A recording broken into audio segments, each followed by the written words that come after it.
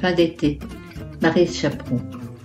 Fin de l'été, promenade au milieu des tournesols, avec au fond les silos, variation de temps et d'atmosphère.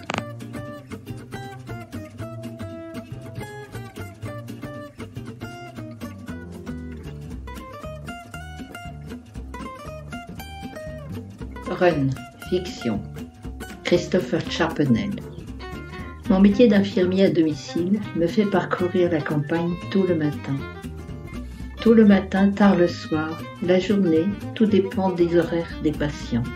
Je file seul sur des routes que parfois je découvre. Souvent un œil sur la montre, mes parcours sont des petits runs qui s'enchaînent.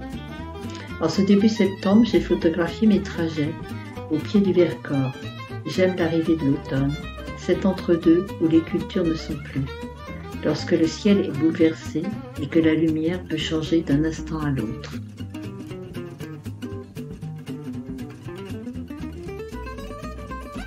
Promenade au miroir, Erel Fayet. En me promenant dans les alentours de Chabeuil, j'ai cherché à placer le miroir en relation avec son environnement.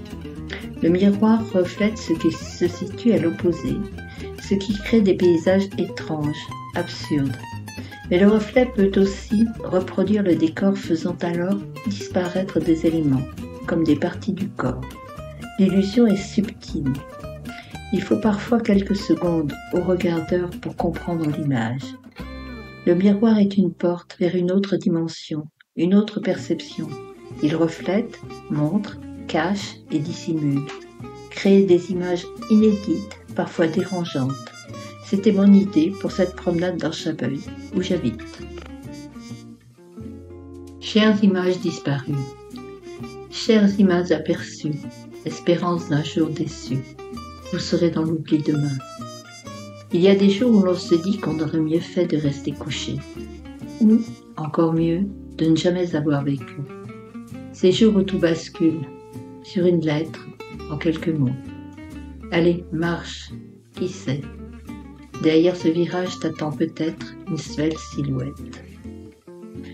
Elle accompagne de voyage dont les yeux charmants paysages vont apparaître court le chemin.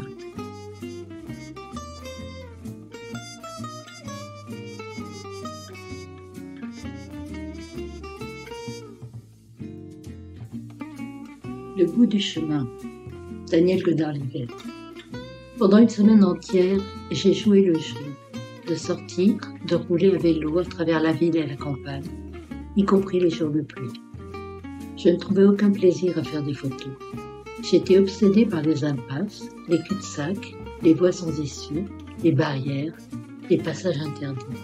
Chabeuil en regorge entre la N358, la voie de TGV et la VEOR qui traverse son territoire.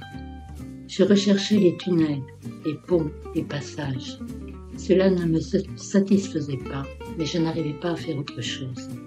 Et même lorsque je parvenais à ouvrir un peu le cadre, c'était toujours pour tourner en rond sur des ronds-points ou suivre des routes qui ne menaient nulle part. Mais je n'ai pas abandonné. Prendre son temps pour aller à l'essentiel. À Chabeuil, j'ai pu prendre mon temps. Une semaine entière consacrée à la photographie, quel bonheur. Je suis partie à pied, puis en voiture pour découvrir la ville et sa campagne. L'exercice n'a pas été facile. Il m'a fallu lâcher mon côté trop cérébral, selon Pierre, et photographier avec mes émotions. Pierre m'a poussé vers l'essentiel. Chaque fin d'après-midi, le travail d'editing était exigeant, rigoureux et enrichissant.